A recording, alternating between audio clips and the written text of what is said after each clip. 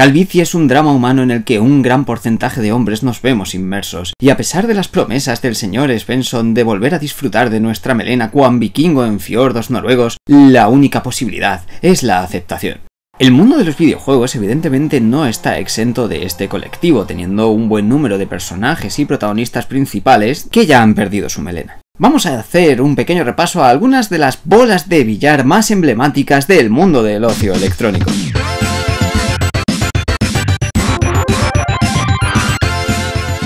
En primer lugar tenemos a Michael Barrick, el Lemmy Kill Mister del mundo de Gears of War. Ya de por sí es bastante viril un hombre con sombrero tejano y un bigote que directamente le sale de las patillas, pero si a esto le sumas un rifle con motosierra, la cosa cambia. Evidentemente la munición no es un problema para él, no tiene ningún tipo de reparo a la hora de lanzarse contra hordas de locus independientemente de su nivel, así que más de un jefe final puede tener miedo a este peligroso macho de la pradera.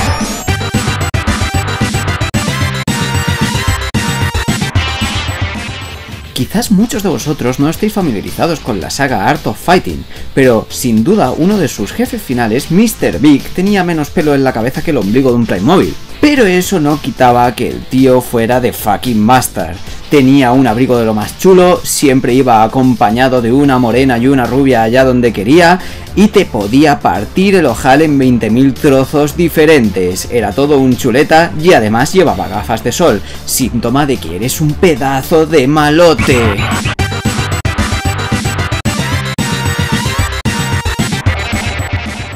¿Qué mejor juez de paz puede tener cualquier pueblo español que Vitores Méndez, una especie de pseudo Rasputín calvo ojo pipa que viene a destrozarte el ojete? A ver, lo que es el hombre no destaca por sus discursos, pero su objetivo principal, que es dar miedito, la verdad es que lo consigue, más teniendo en cuenta que en un acto de exhibicionismo si se quita la bata, nos sale un bicho raro con un montón de brazos esquelético que se sube por las paredes para aparecer detrás tuyo y decirte cucú.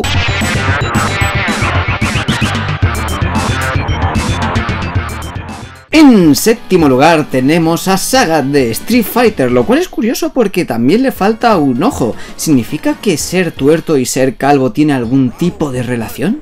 Además, en el caso de Sagat podemos ver claramente cómo el hombre no tiene ningún tipo de problema ni complejo con su cuerpo. Sale a la calle totalmente en calzoncillos con una cicatriz que le cruza de lado a lado del pecho, aparte de ir con su sodicho parche, y además tiene una cicatriz en mitad de la cara que parece que se ha cortado por las mañanas al afeitarse, lo único que se ha afeitado todo lo que viene siendo el regomello de la nuca. Lo que siempre me he preguntado es, ¿Sagat ve? Tiene los ojos totalmente en blanco. Y además es curioso porque antiguamente no los tenía. ¿Qué es lo que le ha pasado? ¿Acaso está haciendo algún tipo de cosplay? ¿Se pone lentillas? ¿Se ha quedado ojo pipa del otro ojo? ¿Qué es lo que pasa?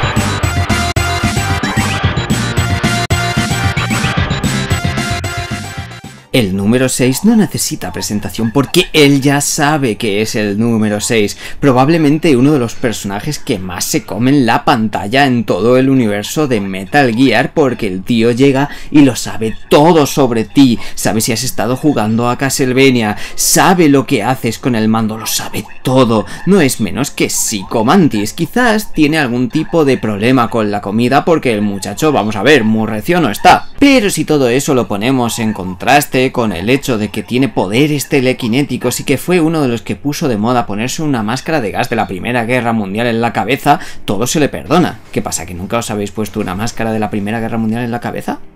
¿Seguro? Vaya. Además, Psicomantis nos acerca a un drama humano que probablemente muchos de nosotros podríamos experimentar. El tío cuando empezó a leer las mentes no tuvo más remedio que quemar su pueblo.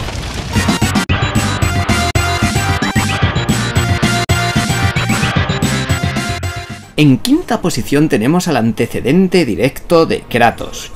El mundo de Mortal Kombat está lleno de personajes guays, pero cuando crearon a Quan Chi para una serie de televisión de dibujos animados de dudoso éxito, el personaje molaba tanto que no tuvieron más remedio que ponerlo en los juegos principales, hasta el punto que incluso en el reboot de hace unos cuantos años, a la hora de reinventar toda la franquicia de la saga Mortal Kombat, tuvieron que poner a Quan Chi en los tres primeros juegos. Mucha gente destacaría fundamentalmente las habilidades como necromante, hechicero y medio señor del infierno de Quan Chi, pero sin duda destaca por algo y es por ser un liante. Vamos, el tío se dedica a decirte que fulanico ha hecho no sé cuál y fulanico ha hecho pascual, entonces lo que pasa es que todo el mundo se quiere matar entre sí. Además, su tono de piel es blanquito pero blanquito natural, no tiene ni una sola imperfección. En Mortal Kombat Deadly Alliance nos dejó uno de los mejores fatalities de todos los tiempos en el que cogía tu cabeza y se dedicaba a estirar el cuello teniendo en cuenta toda tu columna vertebral para convertirte en una jirafa humana. ¿Quién no se rió con eso?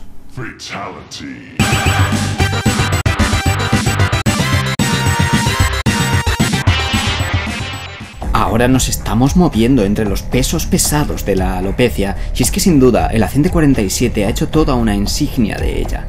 En primer lugar, tiene toda una legión de clones que comparten algo en común. Todos ellos son bastante parcos en pelos en la cabeza. Pero es que además lleva el estar pelón con tanta elegancia que el tío se puede poner cientos de disfraces de un montón de gente que a lo mejor lucía un gran penacho en la cabeza, que aún así nadie le reconoce. Nadie dice, ¡Oh Dios! Ahí va el calvo que le ha robado a Paco sus calzoncillos. Silencioso, letal y calvo.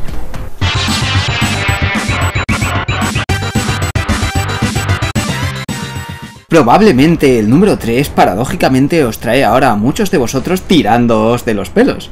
¡Oh, Dios mío! ¿Cómo puede ser Kratos el número 3? Debería ser el número 1. Kratos, I love you, are...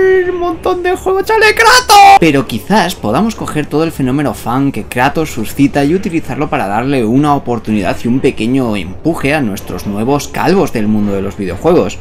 Sin duda Kratos es uno de los más representativos y que probablemente ya ha sido el número uno de muchas listas alopécicas videojuegiles. Pero hay un pequeño problema en torno a él, que es que está perpetuando la imagen de los calvos como gente cachas que vienen a destrozarte y que tienen muy mala leche.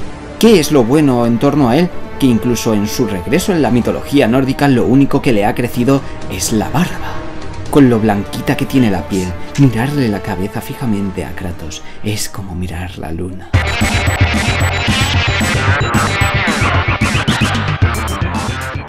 En el número 2 tenemos a uno de los mejores yayos del mundo de los videojuegos, Heihachi Mishima. Ya no solo es que esté forrado, que haya expandido su semilla por los cinco continentes, teniendo hijos incluso en Noruega que a pesar de todo han aprendido a hablar en japonés y aún así le ha sobrado tiempo para adoptar a un hijo más es que incluso ha cogido al Yayo y lo ha encerrado en el sótano de por vida y por toda la eternidad porque eso de meterlo en una residencia está mal. Y por si fuera poco, en Soul Calibur 2 ha viajado a través del tiempo. Es que además tiene una edad cercana a la centena y aún así tiene un cuerpo que más quisiéramos todos nosotros cuando estuviéramos en nuestro lecho de muerte. Además, no tiene problema en exhibir su cuerpo del deseo. ¿O acaso no sentisteis unas ganas irrefrenables de acercaros a tan insigne Yayo cuando visteis su tanga bien ajustado de Ken 4 viniendo al ring?